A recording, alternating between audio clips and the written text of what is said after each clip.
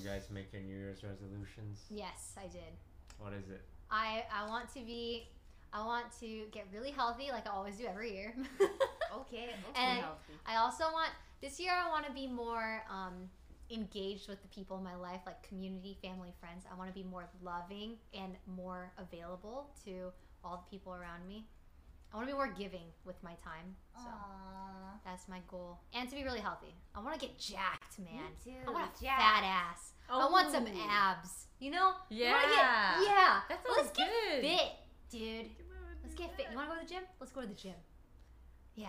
Yeah, That's gym. my goal. hmm I want to do. I also want to do more content outside of just gaming. So I want to like go go beyond my comfort zone. So there's that too.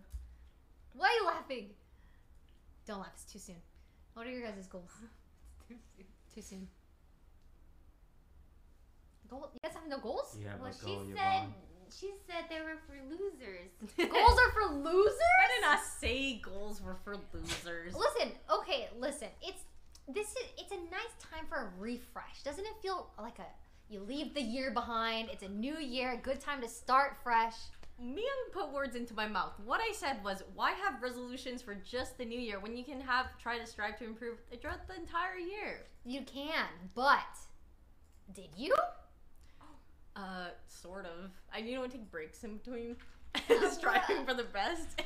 like sometimes you gotta you know be like, oh, you know maybe today's a day where I don't strive for the best, and then you leave it for tomorrow. How about that? No.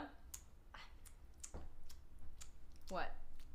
You know what? Yeah, honestly, you can start any time of the year. You can start Yeah. any time of the year, but are you being consistent? Hmm. I will consistently go to the gym Ooh. when